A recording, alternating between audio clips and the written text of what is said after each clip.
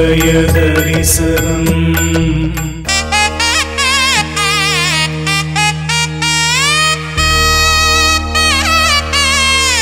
ஆலய தரிசனம். அருள்மிகு ஞானாம்பிகை உடனுரை ஸ்ரீ காளத்தீஸ்வரர் திருக்கோயில் காட்டாங்குளத்தூர்.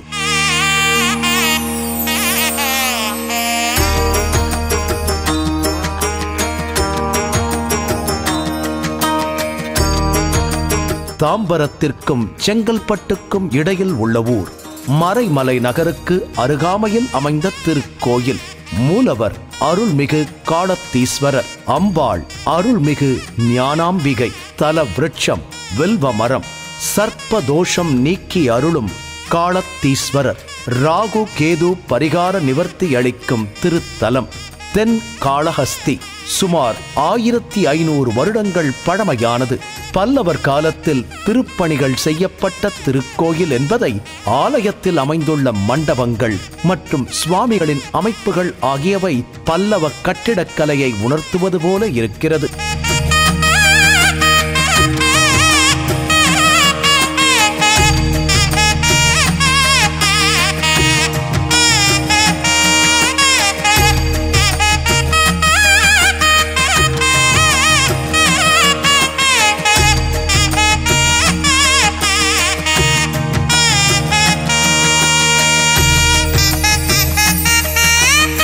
ஆலய நுழைவாயில் வழியாக உள்ளே சென்றால் ஒருபுறம் விநாயகரும் மறுபுறம் வள்ளி தெய்வானையுடன் சுப்பிரமணிய சுவாமியும் காட்சி தருகிறார்கள். அதற்கு எதிர்புறம் ஸ்ரீ பைரவர் சூரியன் சனீஸ்வரர் மற்றும் ஆஞ்சநேயர் அருட்காட்சி அளிக்கிறார்கள். மூலவர் அருள்மிகு காளத்தீஸ்வரர் லிங்க திருமேனியில் காட்சி அளிக்கிறார். கருங்கல்லாலான மண்டபங்களும் மிக அழகான பிரகார சுற்றுகளையும் உடைய பழமை வாய்ந்த சிவாலயம். மூலவராகிய பெருமானை தரிசிக்கும் நேரத்தில் சிவநாமத்தை சிந்தையில் வைத்தவாறு இந்த ஆலயத்தின் தல வரலாற்றை அவன் அருளால் அவன்தாள் வணங்கி அறிய முயற்சிப்போம்.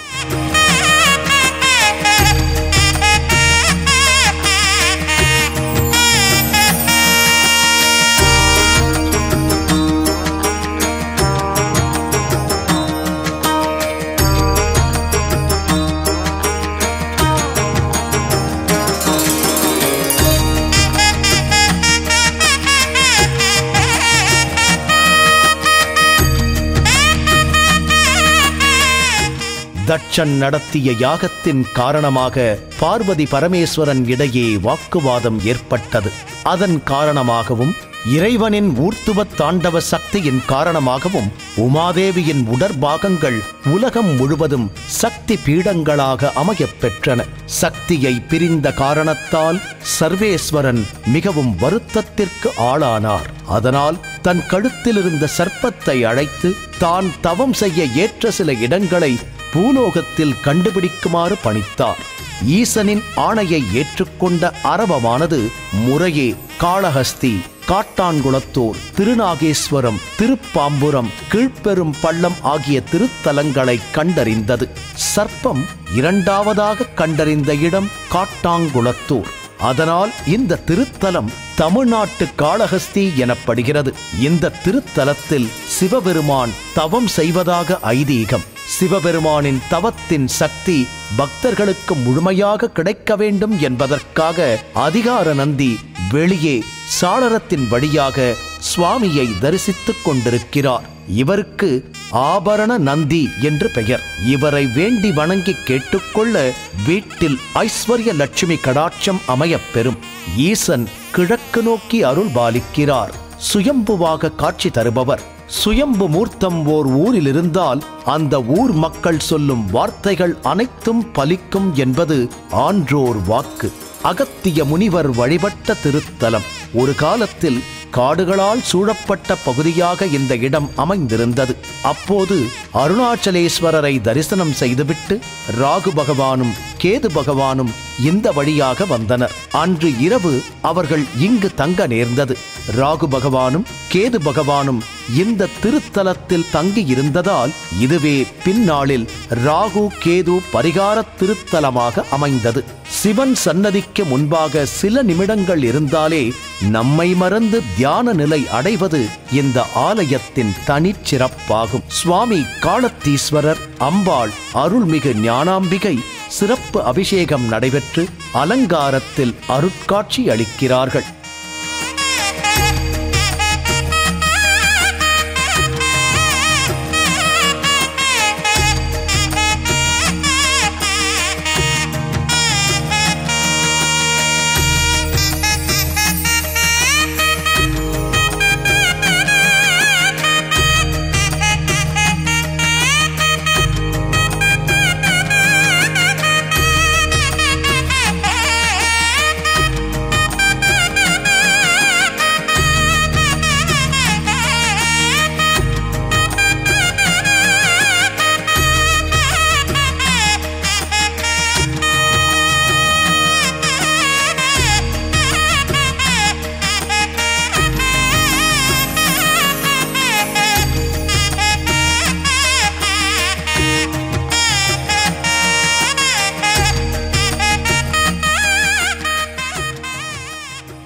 அம்பாள் அருள்மிகு ஞானாம்பிகை சன்னதி தெற்கு நோக்கிய திருக்கோலத்தில் சிரித்த முகமாய் நான்கு கரங்களுடன் அழகே உருவாய் திகழ்கிறாள் அன்னை. மேற்கரங்களில் பாசம் அங்குசம் ஏந்தியும் கீழ்த்திருக்கரங்களில் அபயவரத முத்திரையுடனும் தன்னை தரிசிக்க வரும் பக்தர்களுக்கு அருளை வாரி வழங்கும் வரப்பிரசாதியாக காட்சி தருகிறார்.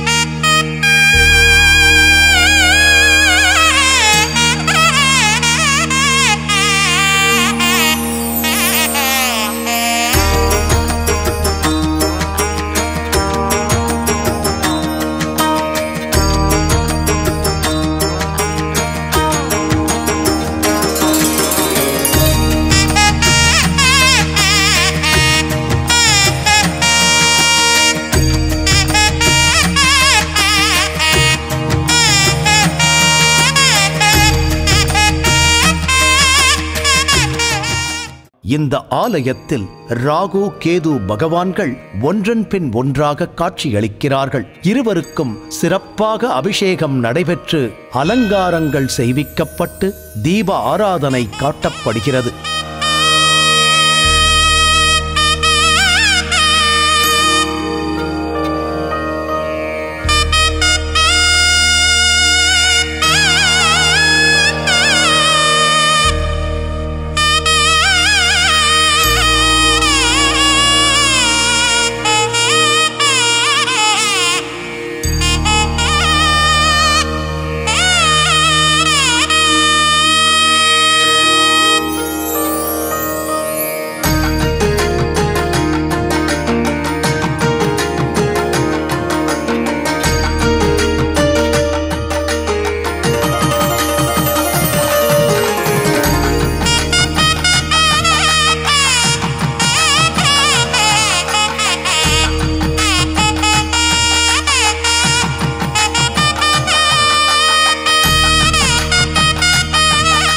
இங்கு முகப்பு மண்டபத்தில் வலப்புறம் செல்வ விநாயகர் தரிசனம் தருகிறார். வள்ளி தெய்வானை ஸ்ரீ சுப்பிரமணிய சுவாமி அருள் பாலிக்கிறார். முருகனின் வாகனமான மயில் இடப்புறமாக அமைந்துள்ளது சிறப்பு. பிரகாரத்தில் ஸ்ரீ விநாயகர் ஸ்ரீ தட்சிணாமூர்த்தி ஸ்ரீ மகாவிஷ்ணு அருள்மிகு பிரம்மா மற்றும் ஸ்ரீ துர்க்கையம்மன் சன்னதி அமையப் பெற்றுள்ளது ஸ்ரீ சண்டிகேஸ்வரர் சன்னதி அமைந்துள்ளது. ஸ்ரீ ஆத்மலிங்க மூர்த்தி பின்னியுள்ள நாகத்தினிடையே காட்சி தருகிறார். இவரை வணங்கினால் புத்திரப் பேறு வாய்க்கும். ஸ்ரீ சூரிய பகவான் ஸ்ரீ சனீஸ்வரர் ஸ்ரீ ஆஞ்சநேய மூர்த்தி ஆகியோரை தரிசிக்கிறோம். இங்கு அருள் புரியும் பைரவர் மிகவும் சக்தி வாய்ந்தவர்.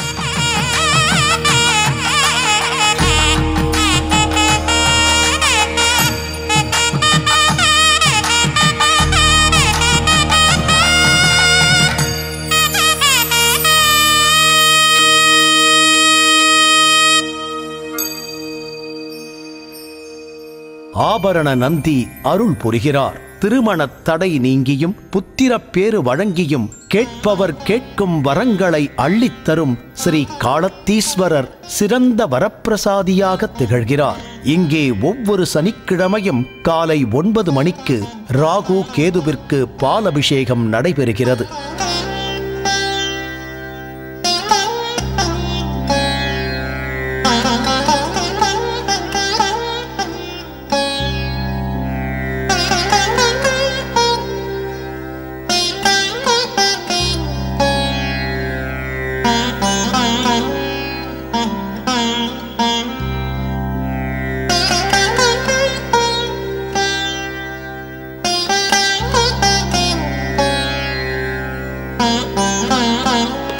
ஞாயிற்றுக்கிழமை தோறும் சர்ப்பதோஷ பூஜை மாலையில் செய்யப்படுகிறது. சிவனுக்கு எட்டு வகையான பொருட்களால் அபிஷேகம் செய்தால் வேண்டுதல் நிறைவேறுவதுடன் எல்லாவிதமான தோஷங்களும் நீங்கும்.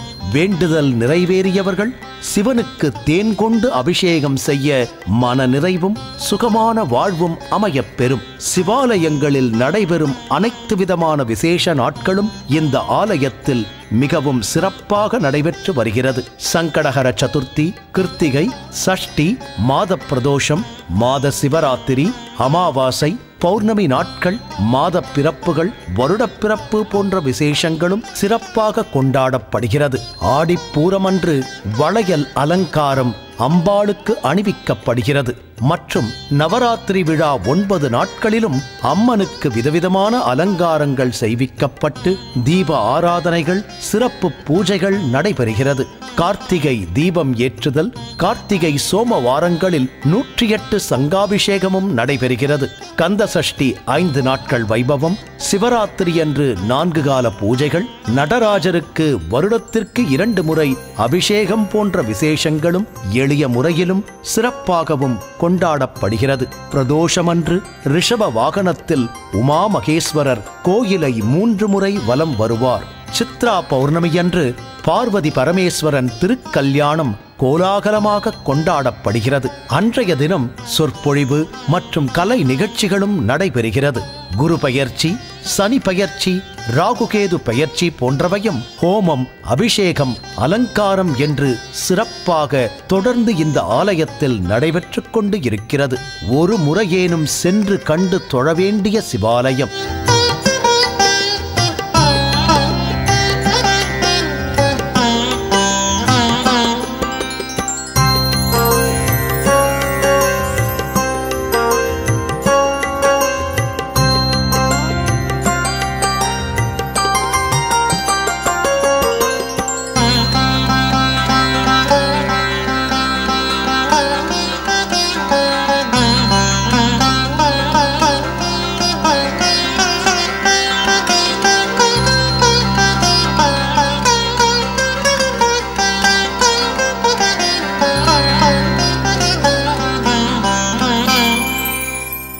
கரும்பு தேன் கட்டியும் கதலியின் கனிகளும் அரும்பு நீர் முகலியின் கரையினில் அணிமதி. ஒருங்குவார் சடையினன் காலத்தி ஒருவனை விரும்புவார் அவர்கள்தாம் விண்ணுலகம் ஆழ்வாரே. ஆலய தரிசனம் காண்போம் ஞானாம்பிகை உடனுரை. ஸ்ரீ காலத்தீஸ்வரர் அருள் புரிய மனமார பிரார்த்திப்போம்.